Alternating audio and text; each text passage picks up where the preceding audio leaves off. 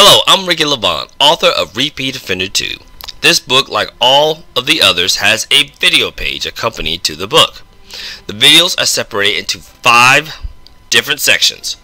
First section, book details, which is like the basic information on the book.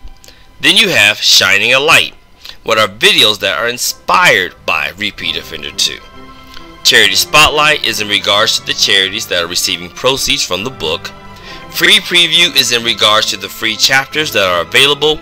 And um, just like all the other books, there is a tourism-like video section, and this one is on Morehead, Kentucky. Check them all out at your leisure, and please share. While you're at the video, go ahead and subscribe, and whenever a new book comes out, there will be a wealth of videos to follow those along as well.